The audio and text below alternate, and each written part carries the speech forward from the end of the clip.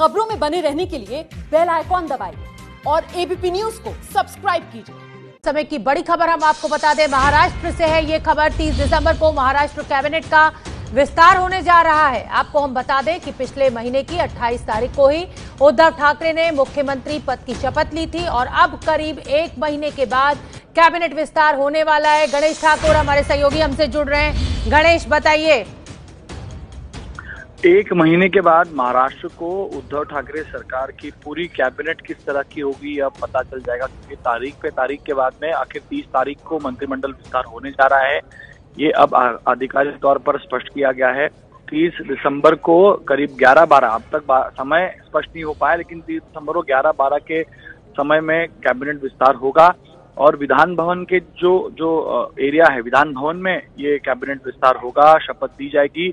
कुल 36 नए मंत्रियों को शपथ दिलाई जाएगी, जिसमें से 13 नए मंत्री एनसीपी के होंगे 13 नए मंत्री शिवसेना के होंगे और 10 मंत्री जो हैं वो कांग्रेस के होंगे, जिसमें 13 में से 10 कैबिनेट और तीन राज्य मंत्री पद ऐसे 13 13 दोनों एनसीपी और शिवसेना को दिए गए हैं।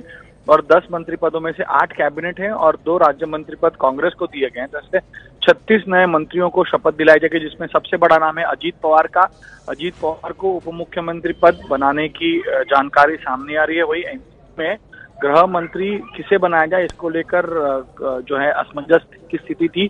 शरद पवार कहीं ना कहीं अजीत पवार को गृह मंत्रालय देने के लिए तैयार नहीं थे तो अब नया गृह मंत्री राज्य को मिल सकते हैं। अजीत पवार के नाम पर लगभग जो है वो उनका नाम क्लियर नहीं किया गया है। तो नए मंत्री जिसमें दिलीप वलसे पाटिल और जयंत पाटिल का नाम है फाइनेंस मिनिस्ट्री संभवतः अजीत पवार को दी जाएगी ऐसा कहा जा रहा है। इसके अलावा शिवसेना में भी कई सारे मंत्री हैं कांग्रेस में भी आ, कई सारे मंत्री जिसमें अशोक चौहान जो पूर्व मुख्यमंत्री हैं उनका नाम है।